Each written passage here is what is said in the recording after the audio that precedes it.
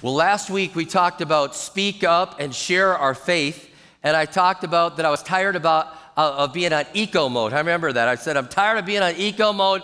I want to go back to sport mode, and uh, I want to know. I want you to know that our church is living back in sport mode, and nothing says sport mode around River Valley Church like starting a new campus. How many know what I'm talking about?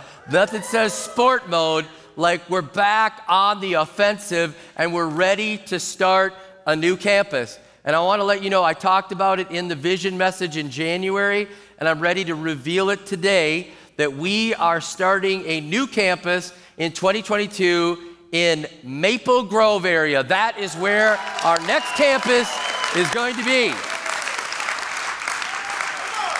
And I want to let you know that from our Apple Valley campus, Caleb and Autumn Graham are the new campus pastors, and I want you to show your appreciation as they answer the call. They came here from North Dakota and they've been on staff for a couple years. They just felt this is the next move for them, and they gladly accepted that, and we're ready to send them there. They're going to be assembling a team and a launch team. And if you're interested in being back on sport mode, all right, you can text the word Maple Grove to 94,000. Text the word Maple Grove to 94,000, and we will help you to get uh, the info you need. If you know friends in that area, they're like, is there a River Valley church come that way? Matter of fact, I got an email this week. Somebody said, I have a friend in New York. Is there a River Valley, New York? I'm like, not yet. We're working on Maple Grove. All right, know, I get uh, requests all the time. Where's the next one? Where's the next one? But the next one is Maple Grove. So if you're interested again, or if you have friends in that area and they want to get the info, and even if you're just leaning in, you feel like it's part of what your, your next step is to do, uh, please text the words Maple Grove 94,000 and congratulations to Caleb and Autumn. We think you're going to do an amazing job. You're ready for this. You're ready for this. We're back on sport mode. Now, today, after we did speak up and share your faith, um, I want to talk to you about uh, being hot and being salty for God. Hot and salty. All right? Some of you are like, where's the scripture for that? I'll get there. All right. I believe this I believe the time for casual Christianity in America is over. I believe it's time for the church. It's got to stop being compartmentalized, weekends only. If it doesn't inconvenience you, if it's not too much to ask, if it's half hearted, half baked, half lit, whatever, you know, uh, there's no more of that. It's time to go all in and say it's time for the church to be hot and salty. And you're still wondering where that verse is. All right, turn with me. Matthew chapter 5, verse 13. Jesus is speaking and he says, You are the salt of the earth. But if the salt loses its saltiness, how can it be made salty again? It's no longer good for anything except to be thrown out and trampled underfoot. You are the light of the world. A town built on a hill cannot be hidden. Neither do people light a lamp and put it under a bowl. Instead, they put it on its stand, and it gives light to everyone in the house. In the same way, let your light shine before others, that they may see your good deeds and glorify your Father in heaven. That's where I get it that you are supposed to be hot and salty. And you say, wait a minute, it says light don't you think you should say we should be bright and salty? I just want to tell you right now, when Jesus was talking to them, they were not thinking about flashlights on, off, on. They were thinking about that. They were thinking about fire. They were thinking about candles and lamps and bonfires and bigger fires. Any light that was being done at that point was light that was coming from fire. So give me the latitude because I think the church doesn't need to just be on, the church needs to be on fire. The church needs to be hot right now and saying, we're going to be part of this, we're going to be hot, and we're going to be salty. Now, I'll start with that, with being hot, with being the light, with being the flame of God for this world. All right? It's the only explicit statement that Jesus states to his followers that it's something that he is also. Follow me. It's the only explicit statement. Jesus is like, You are the light of the world. You're going to go out and be a hot flame to this world. You are the light of the world. Now it's interesting, he calls himself the light of the world. He calls you and I the light of the world, and he calls himself the light of the world. Matter of fact, he called his disciples the light of the world before he called himself the light of the world. Think of that. And he's saying, if you are my disciples, if you said yes to Jesus, if you have given your life, if you're a Christ follower, you don't have a choice. You are the light of the world. Jesus is saying, I want you to go out into the world and be that light in a, in a world that's so dark, in a world that's so desperate, in a world that's gone mad with evil. He's like, I want you to go out and be the light. The church has to be hot with a flame, being the light to this world. And we've been given the honor and privilege to do that. It's an amazing thing. He didn't say, All right, you guys just follow me and study and stay huddled up in church and I'll let the angels go be the light. I know he didn't do that. He said, You guys, you, the church, all of you are all the light of the world. You get to go out in the world and be this flame for me, this bright thing for my glory. And he's like, You're going out there. And he says, I don't want you to be hidden. I want you to, to be on a, on a stand. I want you to be shown. Again, we think like, I, I, I, the reason I wanted to go to hot and not just, you know, the light or bright was as I was studying for this, I really did. I was thinking like, it's a flashlight. Like I'm the, you know, we're the light. Okay, yeah. And then I was like, wait a minute, it's so easy on, off, on, off, on, off. And I was like, no, they were like, if you're following Jesus, you're a flame. And you're on fire and you are hot for God. And they were protecting it. They didn't want it to blow out. They didn't, they, they couldn't just be like on, off, on, off. They could do that. They were like, if we're on, there's a flame, there's a passion, there's a burning, and, and the only thing they could do is hide it. And Jesus is like, I don't want you to hide it. And so I'm like, okay, it's got to be that God wants us to be on fire for Him, passionately filled up with the power of the Holy Spirit. And we're not going to hide. We're going to go out there and be bold and say, here's what we believe. Here's what God's called us to do. Now, when you're the light and when you're hot for God, um, that's attractive to some and it's attacked by others. When you're going to be a light, when you're going to be a flame, when you're going to bring the light of God into this world that the Bible says loves darkness, it's going to be celebrated by some and it's going to be attacked by others. And so let me just give you a few things that are celebrated about being hot, about being the flame for God, about being the light. And if I use light, flashlight, hot, you get it. You understand what I'm saying. Now, one of the things that light does when it comes into a room is it illuminates and it brightens up everything and it shows what's in the room. It shows what's available. It just, it kind of broad, it, it, it lets everybody see what's there. And I'll say this the older I get, the more light I need. How many know what I'm talking about? Yeah, I mean, the older I get, the more light. I go to those restaurants and I go to a restaurant that's nice. It has ambiance, a little dark, and I look at that menu and I'm like, I can't see a thing. I'm like hold it that far away. I have Becca hold it across the table, still can't see it. I get the flashlight out, shining. you know, like how many know? How many have turned on your phone? Honest, you turn it on, turn that light on, and you blind everyone in the restaurant, right? And so I found this app, and I can just turn my light on real subtly, just at like 10%, and then it magnifies. Somebody's shining their light. Turn that light off in the church. It's like a concert. We're all like, ah. But I do that. I, have got to see it. I've got to see. And so I'm looking at that. Have you, how many have heard of that blackout dining? Have you heard of that? Blackout dining? Where people, blackout dining is where people go into a room and you sit down and then they turn out all the lights. The, the wait staff has like infrared things so they can put the food in front of you. You can't see a thing. It's pitch black, blackout dining. And you're there and they put stuff in front of you and they say, go ahead and eat. Not me.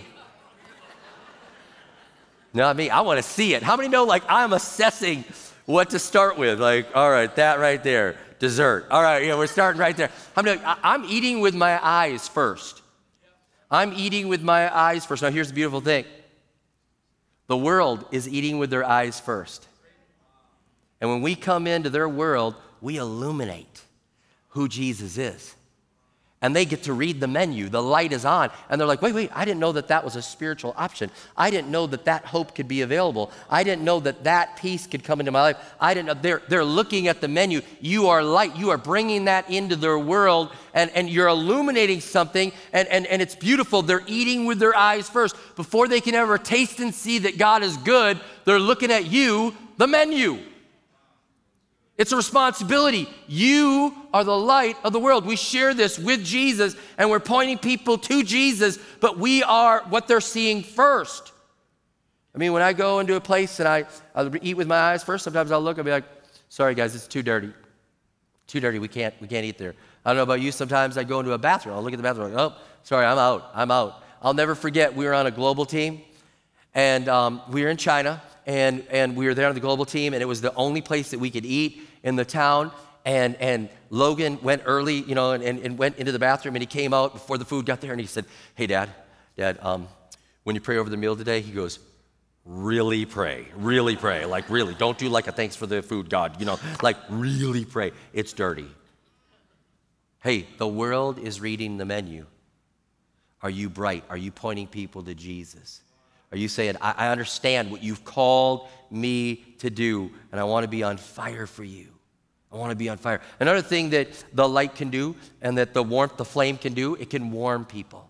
It can warm people. There's a lot of depression in this world. There's a lot of misery in this world. There's a lot of people that have just a, a, a, heaviness on them, and the light can come in there and it can warm them and it can inspire them. How many know what I'm talking about? The light can inspire. And I think about this like Minnesotans, people that are watching online, if you're not from Minnesota and you're watching online, we love that you're part of our church, but you got to understand where, like, what we are in Minnesota. Like, it can be gloomy and 70 degrees, and Minnesotans are depressed. We're like, it's, it's overcast, it's kind of gloomy. I can't see the sun, it's kind of gloomy. It can be minus 20 and sunny, and we're like, da da da da da, coming into church. We're like, it's fine, you know, it's minus 20. Car didn't start, but the sun is shining. The light is there. I feel good. We could not live in Seattle, none of us, all right? But we can inspire, and I believe this lots of Christians are partly cloudy with approaching rain and fog coming after that. We should be the light of the world, bringing light and lift into those places and saying, you know, hey, we want to bring this joy into this room. We want to lift this. We're bringing the light of God into this atmosphere, and there, we should be able to lift the room. And by the way, side note, if anybody ever comes to you with something that is partly cloudy, foggy, maybe even disastrous, don't you dare add to the gloom, to the gloom and doom. You bring lift. If somebody says, hey, just got a diagnosis from the doctor, man, you bring light into that situation. You bring faith into that. You be the light like you're supposed to be. Could you imagine somebody bringing a, a problem to Jesus like, Jesus, my son has this disease. Jesus, yeah, bummer. Had a couple people die of that in Galilee too, you know. He wouldn't have done that. He'd say, Where's your faith? He, he would bring the, the lift. If we are supposed to be the light, so we're going to inspire. One person said, Some people are a joy wherever they go, others are a joy whenever they go. All right? We want to be a joy wherever we go. Because of that, don't dim your light. Don't dim your light. Be hot. Be hot. Be on fire for God. Don't be quiet when you should speak up. That's just dimming the light. Don't go along with the crowd when God says don't go along with the crowd. You're dimming the light. Don't deny the light. Some people deny, like, are you a Christian? No, no, not me. My mom, dad are, but not me. Like, I'm totally not. I'm going to go to church occasionally, but I mean, I'm in a small group, but I'm not a follower. No way, not me. And I serve, but not me, you know, no way. Don't deny. And don't let sin dim your light. Listen to what Ephesians 5 8 says. For you were once in darkness but now you are light in the Lord. Live as children of the light. That means our everyday behavior should validate that God said over us, You are the light of the world. When you go out in the world, you're going to live like the light. When you're living in your daily life, your behavior is going to say, I understand that I am supposed to be the light to this world. The place that God has placed me, I'm going to be the light. And I pray against a flashlight mentality that says on, off, on, off, on, off, on, off for faith. I pray that we say we are on all the time. All the time. We are going to be bright for God, and we're not going to say, you know, I, am going to let the, the, the world dim my light for Jesus. I got to tell you right now, I, I, I battle some of the thoughts that you have as well. I watch our world and I see our society um, I was preaching at Shiloh Temple on Saturday morning this weekend, and I walked in the door, and the pastor's wife said, Praise God, we didn't have a shooting last night in Minneapolis by our church. And I, it just hit me. And they've had funeral after funeral after funeral, and shooting after shooting after shooting, and they're rejoicing that they had one night without a shooting. One night. And I thought this world has gone mad, it's gone dark, it loves violence, it loves crime, it loves hate, it, it, it, loves all these things that are wrong. It's loving the darkness more than the light. And after a little while, you kind of feel like it's overwhelming darkness. And God just spoke to me and said, Shine brighter. Like a, a, candle is worthless in the middle of the day, it's not needed, but in the night, it's needed. A flashlight is really not that valuable in the day, but at night, thank God for a flashlight. And so, right now, I'm saying, like, praise God that we're right here where we are. We get to be the bright light. We get to be hot for God in Minneapolis, St. Paul, in Minnesota, and around this world. I remember that song when I was a little kid. I don't always sing, but I remember This little light of mine.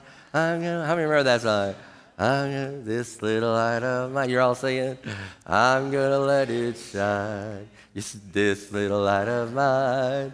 I'm gonna let it shine. Let it shine. Let it shine. Let it shine.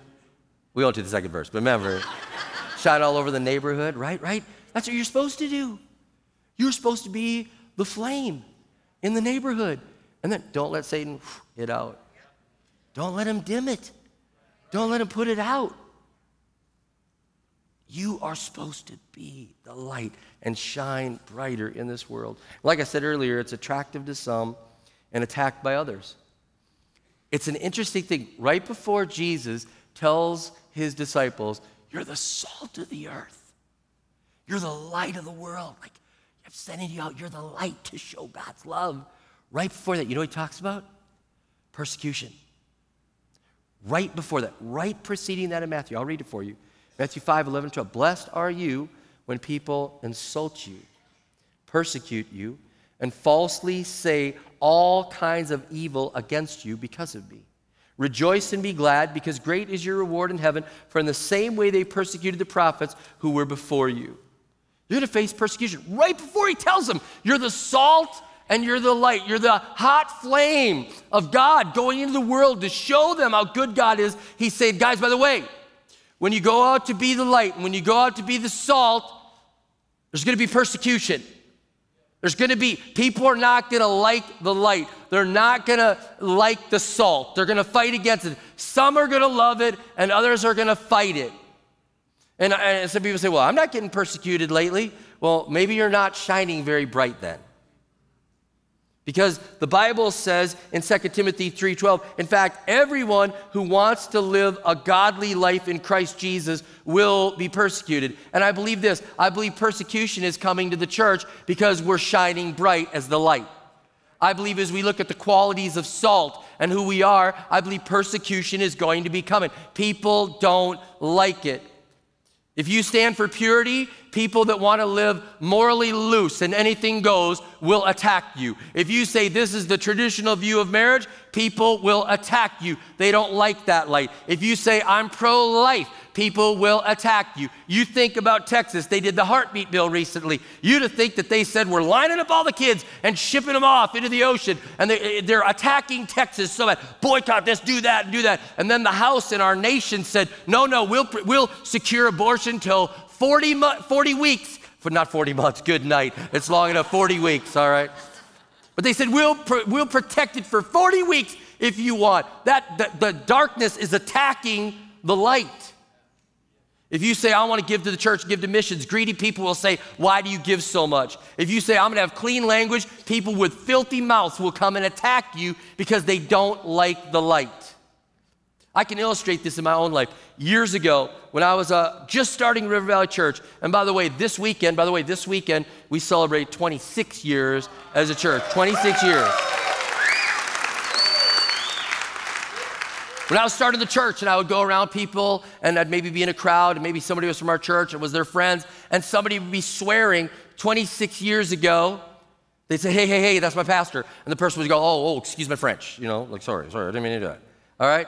Fast forward about 10 years from there, they'd be swearing and the person would say like, hey, hey, hey, this, this is pastor, you know, like there's some light, there's extra light here. Pastor's here, there's extra light. And, and people like, oh, sorry, you know, didn't, didn't know that offended you. Almost like, sorry that that swearing offends you, you know, light boy, you know, like, you know what I'm saying? And that's how, they, and then now, now, when, it, when I'm around people and they're swearing their head off and they're like, hey, hey, hey, that's my pastor. And they're like, oh, well, has he ever heard this one? Bing, bing, bing, beep, beep, beep. And I'm just like, oh my goodness. In like 26 years, we went from, excuse my French, to, have you heard this one? Because there's an attacking that's going on towards the light. There's an attacking that goes on towards it. I'll, I'll, give you another thing. Sometimes they just don't like it. They attack it. And they're, they're just, and you're just even just being yourself, just in your normal everyday behavior. Like I'll go to a place and I'll be out in, in, in a community event. And somebody go, hey, can I get you a beer? And I say, no, I'll just take a Diet Coke. And all of a sudden they're like, you don't want a beer? And I'm like, no, I, I would just like a Diet Coke. Are you judging me for drinking a beer? I'm like, no, I literally just said I just wanted a Diet Coke. That's all I did. I just said I don't want a Diet Coke. You think you're better than me because you're not drinking a beer? I'm like, no, really, I literally just, I, did, I didn't say that. I just said Diet Coke. That's what I like. I don't drink beer, but I just wanted a Diet Coke. Oh, you think I have an alcohol problem? Is that what you're saying to me? You got any alcoholics in your family? I'm like, I literally just wanted Diet Coke. That's all, even a Diet Pepsi will do. I'll just, whatever you got right now. just, just, I just, that's all I want. Isn't that interesting? I didn't say anything. But just a little bit, I'll say, Whoa, what are you doing? Why are you not living like I'm living? Why are you living different than me? Why are you doing that? Our boys would say that they would show up sometimes to parties and different things like, Oh no, Connor and Logan are here. Extra light has shown up. Can't do that now. They're here. That's how the world is. And I'm praying that we will shine brighter in a world that needs to see the light of Jesus Christ. That's who we need to be. That's who we need to be. All right, now, I don't have enough time to get in this, but I'll go for a couple minutes on salty. Got to be hot and salty. Hot, I like that. It sounds like something I want to eat. Hot and salty, you know? I like being that. I want to be hot and salty. Salt is so valuable. Salt is so valuable to the human body. Did you know that every cell in your body has salt in it? Every cell in your body has salt in it. You need salt. You have to have salt. It has to be part of your diet. And your body is so good at extracting the salt out of the foods that we eat. It's so good at doing that, but you have to have salt. Every cell in your body has salt. Salt is so valuable that the word really is salt money, and that's the word that we derive salary. Salary comes from salt money. When the Romans would pay their soldiers, they would pay them in pure salt, and it was salary, salt money. It's so valuable. When somebody's a great worker, uh, they say they're worth their salt. If somebody's an amazing person and they're like full of like goodness, you'd say that person is salt of the earth. Salt is a valuable thing, and as a Christian, we are spiritual salt. And I'll give you a couple things. First of all, we should add flavor to everything we do. We should add flavor to everything we do. We should make it better. We should have that object in mind that if God has placed us in a neighborhood and we're supposed to be the light and the salt, our salt is going to make that neighborhood better. If we're in a school, our salt is going to make that school better. If we're at a workplace, our salt is going to make it better. We're there to add flavor. We're there to add another perspective. We're there to bring some life to it and have that salt and bring that flavor to it. And it's a beautiful thing that, that we bring this flavor to the government, to the people say, well, should the church be involved in politics? Well, we should bring our salt there. We should bring our salt there and say, hey, we want to make this better. We don't want to be eliminated. God told us to be in the mix and to bring the salt to whatever God, whatever's going on around us. And we need to, uh, by the way, we need to be both salt and light. Salt, if you're just saying, I'm going to do that, I'm going to add, I'm going to make everything better. I'm going to really make it better. Matter of fact, if you read Matthew chapter 5 and you just did those things, if you said, I'm going to be meek, I'm going to uh, persevere, I'm going to be a peacemaker, I'm going to be merciful, all the things that Jesus says right before salt and light, that, that's really like salt stuff there. If you do just that without the light, you're almost like a social worker. How many know what I'm talking about? I'm making everything better. I'm making it all nicer. I'm doing everything, and I'm, I'm going to really be an outstanding citizen. But God says, I want you to be salt and I want you to be light. You're going to have to point things out. You're going to have to illuminate. You're going to have to reveal things. You have to be salt and light. One of the, one of the most harmful things that a body can do is have too much salt. You can have too much salt. You can have high blood pressure. You can have bloating. And so people that struggle with this have to watch. They have, don't have too much salt. So some of you are like, oh, I like that part. I like the meek. I like the peacemakers. I like the social good. I like all those things that Jesus told us to do. But he told you to be the salt that brings the flavor. He told you to bring the light. But he also told you to be the salt that would preserve what's going on from rotting. Now, again, going back to flashlight, you know, wasn't invented until way after Jesus talked about this, but refrigeration being used in houses wasn't even invented. Like the electric refrigerator wasn't even invented until 1913.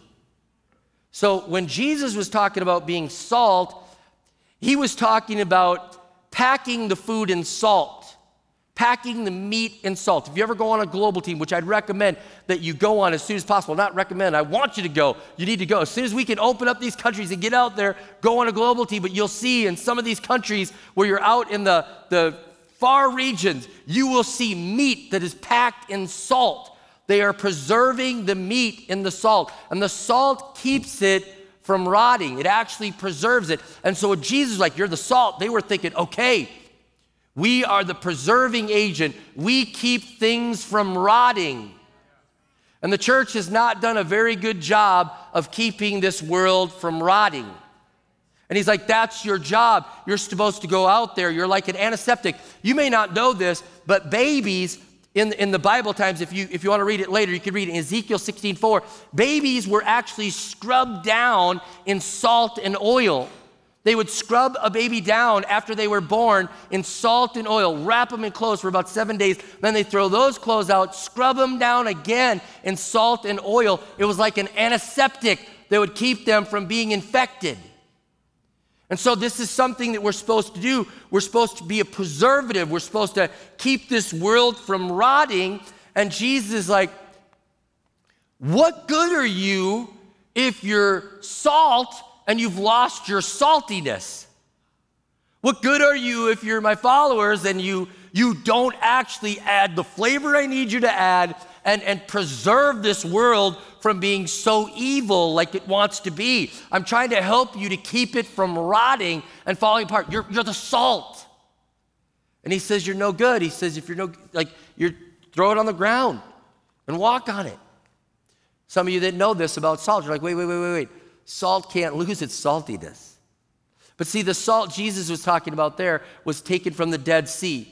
And it had all sorts of impurities in it. It wasn't the purest level of salt. And so the people would understand it. They'd be like, okay, you're talking about when we get that cheap salt, and then we got salt, but after a while, if we don't take care of it, the other things make it impure and it's worthless. It loses any value of it, and the other things take over, and it's no longer good for what we want it for and then we just throw it out on the street. And he said, I need you as my followers to be hot, to shine bright, to be that flame. But I also need you to have that flavor, and I need you to preserve this world from getting rotten. And he's saying, guess what? As believers, it's your honor, it's your privilege to be distinctive from the world. You get to go counter-cultural. You get to keep them from rotting. And as they're chasing after the things of the world and the sins of this world, he's like, no, no, you're going to be salt in this world, and you're going to help slow down the decay. You ever wonder how bad it would be if the church wasn't here? And we're slowing down the decay. And he says, you know what? If you're going to sound like them, if you're going to act like the world, if you're going to look like the world, and you're going to be like the world, you know what the world's going to do? They're going to throw you on the ground and walk on you. The world has no use for a church that just wants to be like the world. There's no, there's no use for it. One theologian right now, he just said, uh, he said, if you want to be progressive and you want to be all just like them, he's like, there's no way. The only end of that is like death. There's no, like, you're nothing. You're just like them. And they're not looking for somebody in the church world to be just like them. The, the Lord is saying you should be the light in this world. You should be the salt in this world so that when people are living in darkness, wondering where there's hope, they find the light of Jesus. When they're living in these things that are sinful and wrong, instead of just saying, well, the church looks just like us, they find the hope of people that are living like salt in this world. And so I'm praying that our church will be hot and salty, shine bright for God, be a flame, and be salty for God, and say, God, we will, we will receive this. It's an honor. It's an honor that you would say, that's what you are. You don't get to opt out of this, that's what you are. This is what we are. That's what He said we are. And so I pray we'd see it as an honor. God, it's an honor. We get to be the salt and the light to this world. So, God, I'm just praying right now that you'd help us to grab hold of that.